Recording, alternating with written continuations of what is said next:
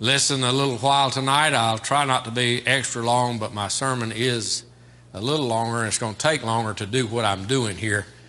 But in these prophetic times, we need to look at some things from the Word of God. How many of you agree that we're in a very, very important time in history? These are definitely prophetic times. In other words, prophecy is being fulfilled right now as we sit here. Do you believe that? Yes, so prophecy is being fulfilled. So, in the light of uh, recent attacks on Israel, October the 7th, approximately 6:30 a.m., by the Hamas terrorists located in the Gaza Strip, we will interrupt our series in Second Corinthians to talk about that. These events are too important for me to overlook. In other words, I can say, okay, they're not happening. We're just going to stay with Second Corinthians and move right along as if nothing out there ever happened. Well, folks, this is important to the church. How many of you believe this, these events are important to Good News Baptist Church? Absolutely, it's important. So it says in Titus 2:11, "For the grace of God that bringeth salvation hath appeared to all men." Teaching us that denying ungodliness and worldly lust, we should live soberly, righteously, righteously, and godly in this present world. And here's the thing I want us to center in on, and I underlined it looking for that blessed hope and the glorious appearing of the great God and our Savior Jesus Christ. We ought to be looking for Jesus to come. Amen? Every single one of us. Now, could he come at any moment? We're going to talk about that in just a little bit. The Church of Jesus Christ, called saints by the Holy Spirit, are to be actively, I mean, not just whimsically or uh, second thoughts, we should be actively looking for the return of Christ. Of course, we all know this is not news to you, but by the way, some people do not know the things that I'm going to cover. How many realize that we don't just preach here, we're preaching on YouTube to people that may not know some things? How many of you understand that? On YouTube, we have over 300 subscribers. You say, Preacher, are you really bragging about that? No, because other people have a million. So I'm not bragging about it. I'm just saying well, there are other people that are going to hear what we're trying to say tonight. And do they need to hear the truth? Do they need to hear the truth? of course, we know that Jesus will come first in the rapture. this coming will not be to earth, but in the skies, where he will call up the dead in Christ first, and then those which are alive second, where they will meet together as one body of Christ, also called the bride of Christ. This meeting of the bride with the bridegroom is imminent. Now, that means soon coming. imminent means that he could come at any moment. There are no signs right now needed for the rapture to take place. The Lord could come in the rapture, no signs involved. I will say more about that. However, Jesus will come seven years after the rapture to set up his kingdom. And that second coming of Christ will be associated with many signs. And some of those signs that will precede the second coming of Christ will begin before the rapture of the church. And so the signs of the second coming can also help us realize that the rapture could be at any moment.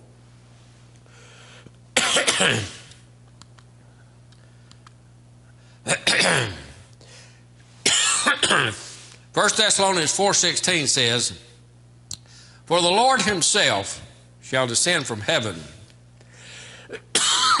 with a shout and with the voice of the archangel, and with the trump of God, and the dead in Christ shall rise first.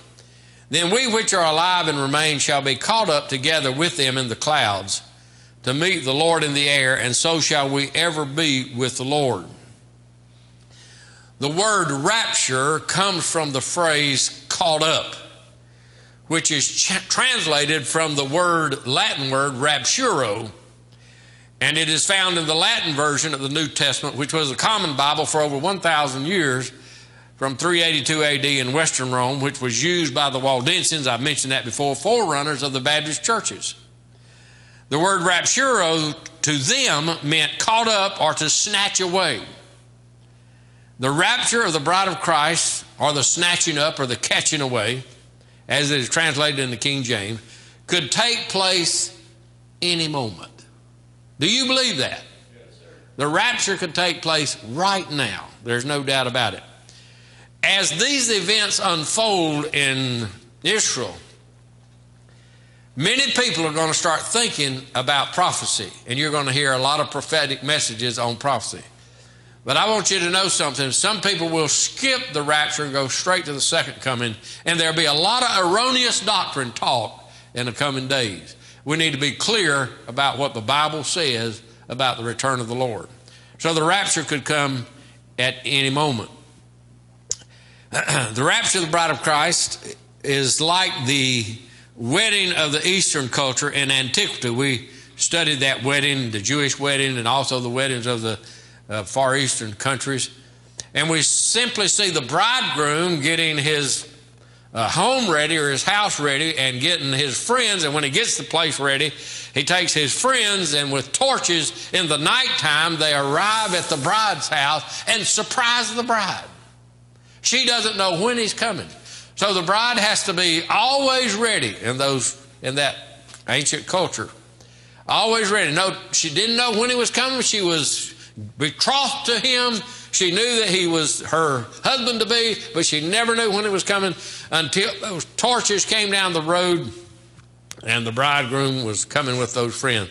And then she knew that the marriage was going to take place. So this is in any moment. Here's the bride of Christ. We are the church, the bride of Christ. Everybody knows that, or should know it. And we should be ready for the Lord to come at any moment. The Bible tells us that.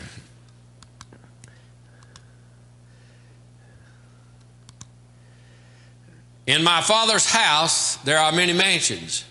If it were not so, I would have told you, I go to prepare a place for you.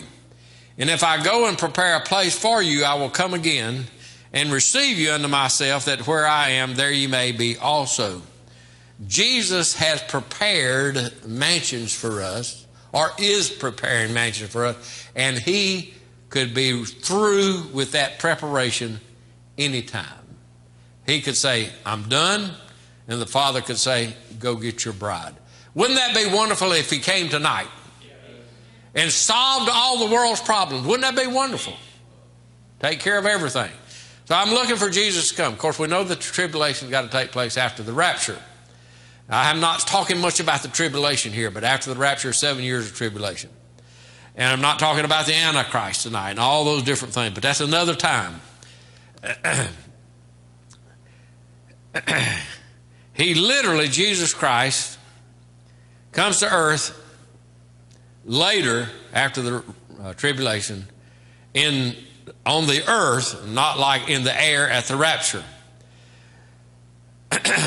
The events of this past week, October 2 through 7, draw special attention to this soon return of Christ. There are going to be many people. Do you remember when 9 11 happened, all of a sudden people got really interested in the return of the Lord? They came back to church for a little while, maybe six months or so. But I mean, all of a sudden people were talking about the end times, the by the way, this thing over in Israel is going to get a lot of attention from the uh, pulpits of America.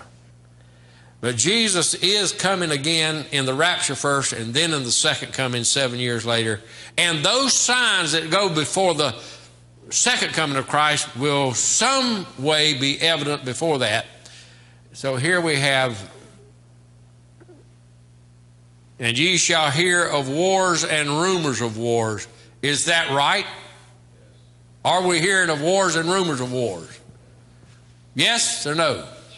Yes, we are. And by the way, just the Hamas and the Gaza Strip, that's not all. They're, they're looking at Lebanon and uh, so on. They're looking at Syria, they're looking at Turkey. Uh, so Israel now is being surrounded on the land side, anyway. And can I tell you something? Eventually, I'm not sure when I'll get to it, but eventually I'm going to show you the three, I think it's three, different scenarios that are mentioned in the Bible about the invasion of Israel. But not tonight. It says, "You shall hear of wars and rumors of wars. See that you be not troubled. And this is one of the reasons I want to preach this message tonight to you all and to others is that we ought not to be upset or troubled or scared. Jesus has got all this under control. God's got all this under control. And we don't need to be fretting about it and worrying about it and chewing our fingernails and things like that. That we don't need to fear. And he says, For all these things must come to pass, but the end is not yet. For nation shall rise against nation. Is that true? Amen. And kingdom against kingdom and there shall be famines and pestilences and earthquakes in divers places. Now, I know you've heard these signs before, but those things have been happening. They've been happening, and they're increasing, by the way. So these things will be observed before the rapture, even. They'll be observed before the coming of the Lord the second time, but they will begin to grow in prominence before the rapture. They will be evidenced as something is happening not just on earth, but in heaven. The war of Hamas against Israel is, can I tell you something? Listen, the war of Hamas against Israel is a sign that Jesus is coming. Do you? You say, Preacher, I don't know about that. Folks, wars and rumors of wars, that's a sign. So this is a sign. What we have this week is a sign that Jesus is coming or if it was last week, whatever it was. and other signs will be observed well before the rapture of the bride. Believers, as well as all people, should be made aware, and this is what I want to do. I want to make everybody aware, lost and saved, it doesn't matter who, whoever hears or listens to this, I want to make sure everybody understands the coming of Christ and the rapture could happen right now. And it is my duty to tell people that that could take place. It is imminent. That means impending.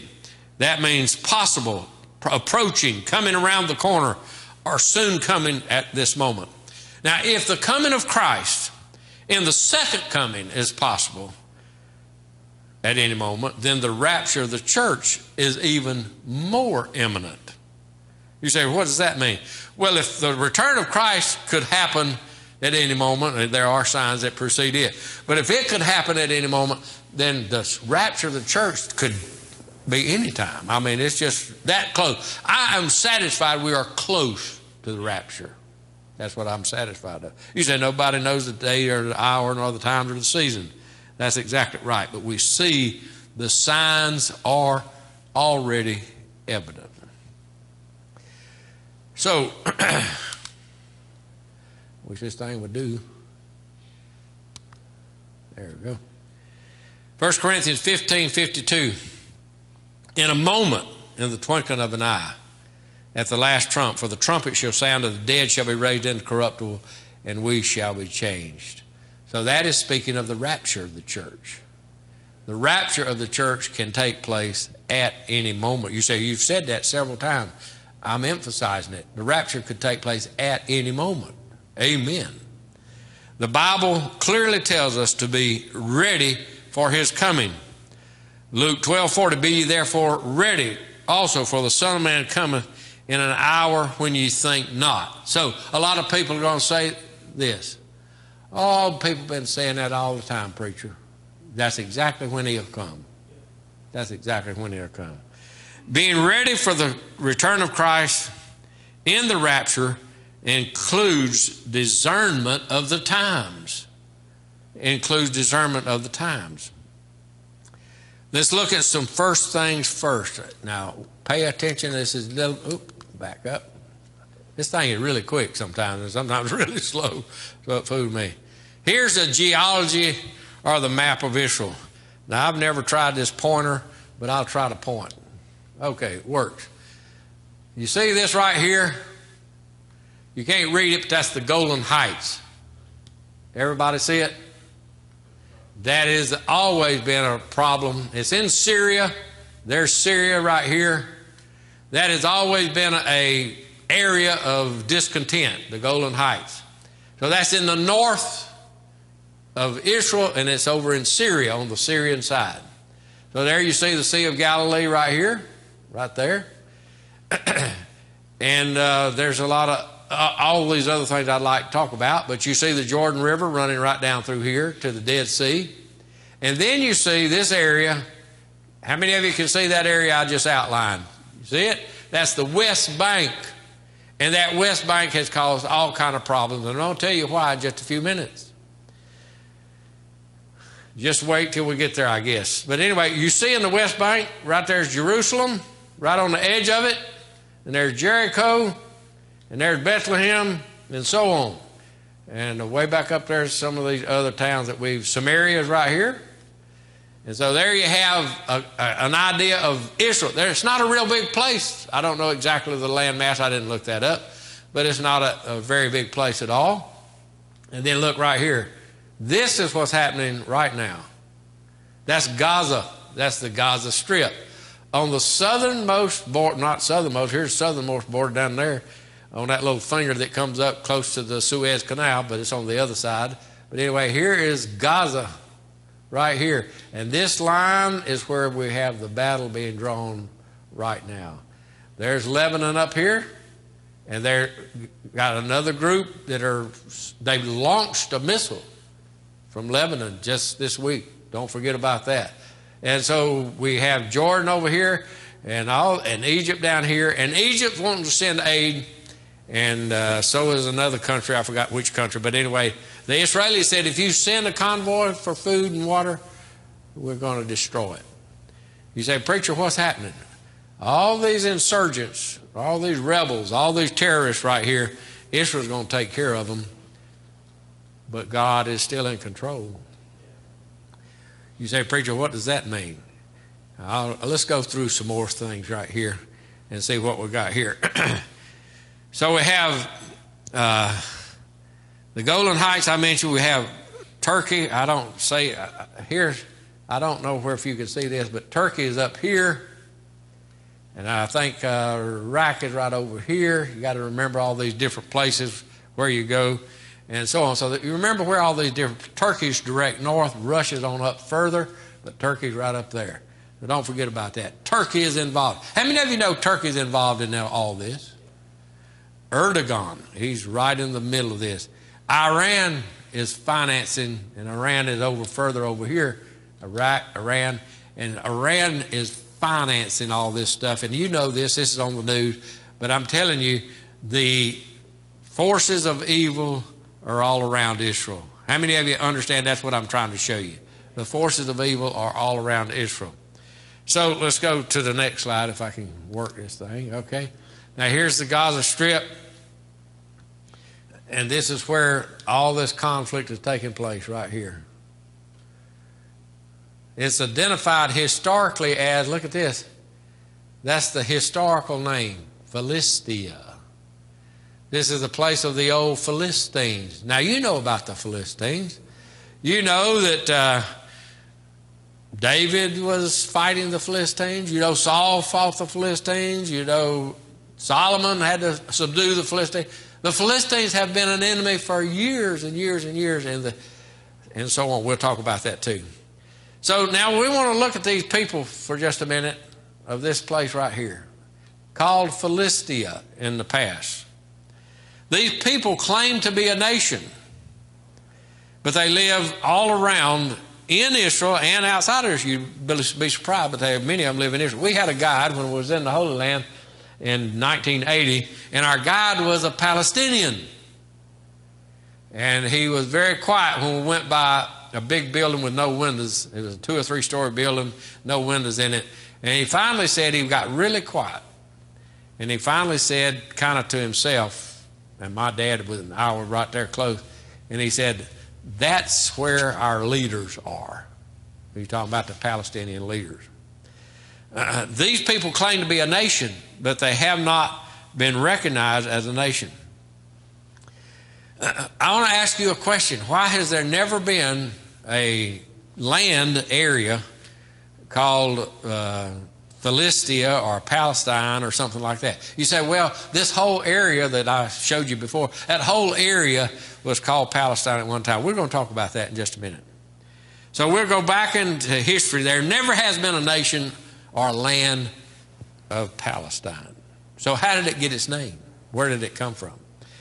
In 1150 BC, a broad area which was identified with the Philistines was called Peleset by the Egyptians and Pelashan by the Assyrians, but no boundaries are given by either. The term Palestine first appeared in the 5th century BC when the ancient Greek historian Herodotus wrote of the district of Syrian of Syria called Palestine between Phoenicia and Egypt. So Herodotus wrote about it, but it was in Syria. It was a place or a district in Syria. In the early second century C, uh, Christian era, the term Syria Palestinia, really the Palestinian Syria, was given to the Roman province of Judea. Now let me tell you why the Romans. The Romans gave this area the name Palestinia. Why? Why did the Romans call this area of the where we call Israel and uh, Syria and Jordan and those areas, Lebanon. Why did they call it Palestine, Palestinia? Why did they call it that? The Jews had revolted against the Roman government. And when they revolted against the Roman government, the Roman army came in and squashed the rebellion. And to make the Jews smart, I mean, to chafe under this rebellious attitude that they had to revolt against the Roman government, they called the place on purpose something that they despised. They despised the term Palestine or the name used for the old Philistines. They despised that name. So the Roman government gave them a name that they knew they would hate. And they called the whole area of that eh, Jerusalem, all of Israel, all of Jordan, Syria, Lebanon, all of that. They call it Palestine to get back at the Romans for their revolt. That revolt was called the Bar Kokhba revolt in 135. so these, uh, there never had been a country by the name of Palestine, just a general area given a name. You say, Preacher, why are you telling us this? Because these people say, we deserve this land, we deserve this country. By the way, you and I both know that in the Bible there's borders given for Israel. How many of you know God gave the land to Israel? And those borders go all the way up to the Euphrates and all the way down to the Nile. That's a big spot of land. And it, so, does Israel have all that land from the Euphrates down to the Nile? Absolutely not. They don't have it at all. So, these people were just the people from the area. They were non Jews, they were from these areas. Arabs, if you please, but they were non Jews from the north, south, east, and west, and they came to be known as Palestinians. But they lived within the respective countries of Syria, Jordan, Lebanon, Israel, and so on. So here's another. Come on, man. There you go. Wow, look at that. All right.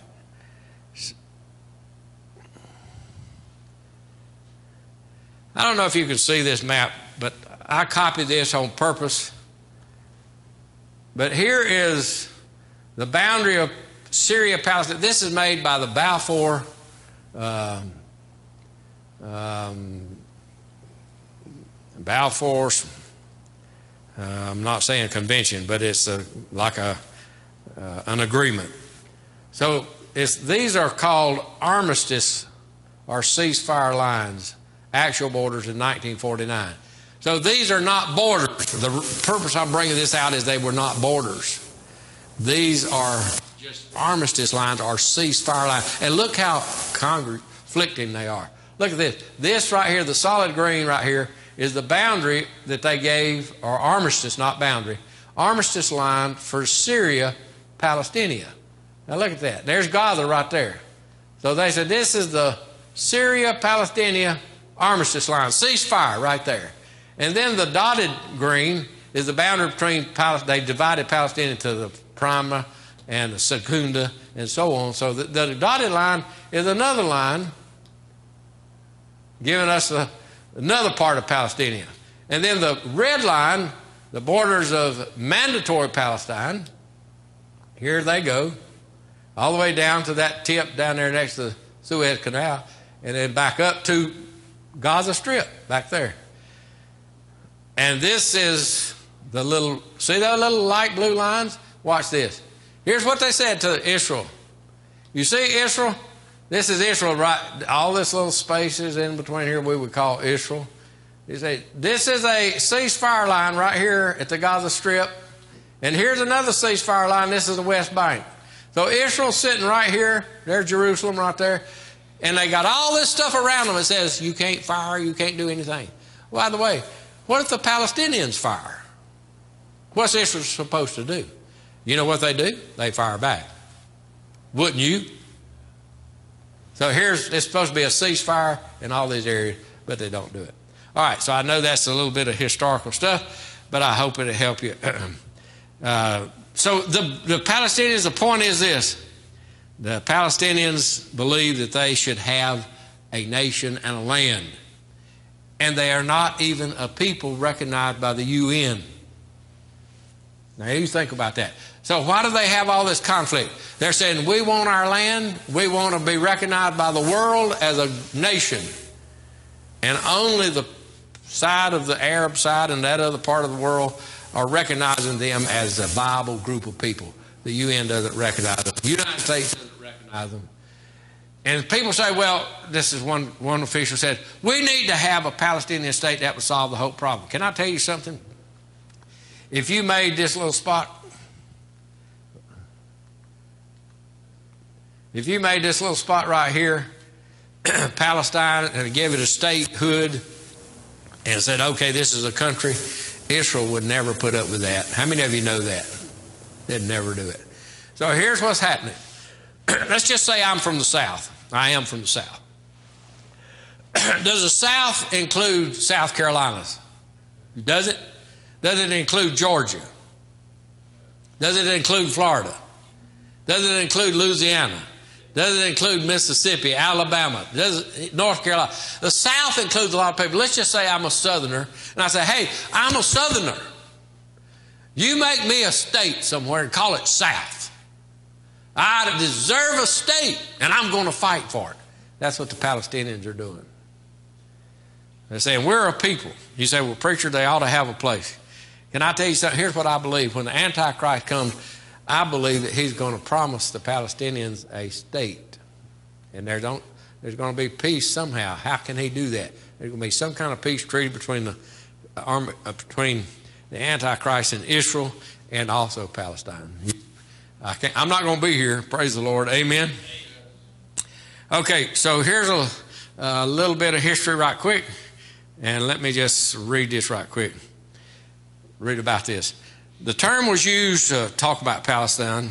Wide as self identification by Palestinians from the start of the 20th century onwards. In the 20th century, the name was used by the British to refer to mandatory Palestine, a territory from the former Ottoman Empire, which had been divided in the uh, Sykes-Picot Agreement and secured by Britain via the mandate for Palestine obtained from the League of Nations. Starting from 2013, the term was officially used in the eponymous state of Palestine. Both incorporated geographic regions from the land commonly known as Palestine into a new state whose territory was named Palestine. When World War I ended in 1918, with an Allied victory, the 400 year Ottoman Empire rule ended, and Great Britain took control over what became known as Palestine, modern day Israel, Palestine, and Jordan. The Balfour Declaration, that's what I was looking for, declaration, and the British mandate over Palestine were approved by the League of Nations in 1922. By the way, folks, I want you to know something. The League of Nations did all this stuff. That's the biggest mess I've ever seen. You know what? If I if I was a member of the League of Nations, by the way, when the League of Nations do you know that when the League of Nations was started, Woodrow Wilson, right? Anybody got an idea of Woodrow Wilson? I think so, but I'm not positive. When Woodrow Wilson started the, League of Nations, I'm telling you what, that's the beginning of the end times because he's trying to consolidate the world into one group of people. By the way, one world is a sign of the end times, isn't it? So even when the League of Nations started, it was part of that. All right, I'll be done. It won't take long. Israel, uh, um, the British controlled Palestine until Israel, in the years following the end of World War II, became an independent state in 1947. Actually, officially, it was 1948. May the 14th, right? Is that right? May the 14th, 1948, when Israel became an official nation. So, by the way, aren't you glad that England, believe it or not, the Zionist movement helped establish the country of Israel as belonging to the Jews and urged the Jews to go back and settle in their land. Folks, I don't know what you think about that, but that is something England did that I just can't hardly believe that they did. But praise God, the Lord was working. Amen. The Lord was working. Okay, I got to move on. The Declaration of Independence. Okay. Israel officially became a recognized nation in 1948. Palestine is not a country. It is recognized as a sovereign state by 136 UN members. The Declaration of Independence and the proclamation of the State of Palestine took place on November 15, 1988, in Algiers, Algeria. Since then, the objection of the Palestinian Liberation Organization had been to obtain recognition of the Palestinian state from the international community. Israel refuses to recognize the Palestinian state due to security reasons, and aren't you sure that that's reason enough? You say, Preacher, what do you mean? They will not recognize them as a state because they know that they're going to try to annihilate them like they're trying to do this week. Do you know, folks, you might not be interested in all this, but I'm going to tell you something. The Lord is working all these things, and He's coming soon. He's coming soon. I got to try to finish. Uh, uh, the Palestinians or Philistines have not advanced. I, I want to make this clear. What they are doing this past week, these past several days since the 6th, has not helped the Palestinians at all. It's not helped them at all. Now, I, I'm, I'm, I'm just about done. Listen to this King Saul was chosen to be king of Israel. Was God really pleased with that? God said, I really want to be your head. I really want to be your king. I really want to be your ruler. I've taken care of you all these years. Why do you want a king? And they said, We want to be like the other nations. Is that right? Can I tell you, even though I know it's preaching to the choir sometimes, but when we try to be like the world, it always creates a problem. It always creates a problem. So they said, let's be like other nations. We want a king like the other nations. So King Saul was supposed to annihilate some people, and he didn't. He was disobedient. So we could call Saul the disobedient king of Israel. He was a basically a picture of the sinner, disobedient to God. And then we come to King David. Now, King David was a king after David's uh, God's heart, and he was obedient. Yes, he had some failures, but he was obedient, and he was a warrior, mighty king, and fought the enemy. Now, this is where the Lord Jesus Christ is going to come back as a warrior. Amen. He's coming back as a warrior. I don't know if you know about that, but when he comes back on that white horse, he's going to be a warrior. And his garments are going to be dyed in blood as he comes from Edom. Well, we'll talk about that later too. So we have the disobedient, we have the obedient king, and then we have Solomon. And Solomon is the wise king, and he brings a period of peace that's unknown. All of those kings are a type of Christ. Christ became sin for us. Saul was a sinner, basically, disobedient. Christ became sin for us. David's a man after God's own heart. He was a human, had his faults and failure. Christ became a man and took upon himself the sin of mankind and fought the battle against sin and Satan on the cross of Calvary. Thank the Lord for the warrior Jesus Christ and the Savior Jesus Christ. But then there's that Solomon who's a king. He's the king of peace, and that's what's coming. Jesus Christ, when he comes the second time, is going to be the king of peace and set up his millennial reign, which is going to be a thousand years of peace.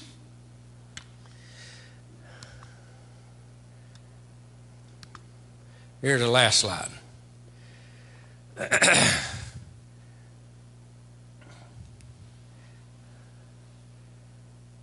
I want you to just look at that a minute, and then I want to say something, and then we're done, okay? And we're done right on time.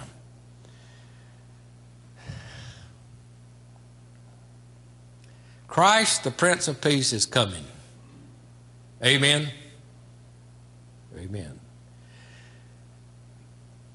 Because the leaders of Israel have been disobedient, but one from the line of David, the obedient king, is coming. He will subdue all enemies and a thousand year reign of peace. Listen to this statement. One contributor on Fox News from the area, from the Israel, said this, and it struck my attention really hard. He said, Israel will be larger when this war is over. What did he mean? This is a guy from Israel. He said, Israel will be larger. I'll tell you what's going to happen. They're going to get rid of Hamas out of Gaza, out of the Gaza Strip, and it will become part of Israel. You wait and see. You say, preacher, that's really going to be tough, but that's what's going to happen. Israel is going to incorporate Gaza, and they're going to rule it, even if they have to rule it with military rule until they get rid of all of Hamas. They are not going to stand for this anymore. Gaza will become part of Israel. So here's this slide. But fear not thou, O my servant Jacob, and be not dismayed, O Israel, for behold, I will save thee from afar off, and thy seed from the land of their captivity. And Jacob shall return and be in rest and at ease, and none shall make him afraid. That's a promise from God. Amen. Let's pray.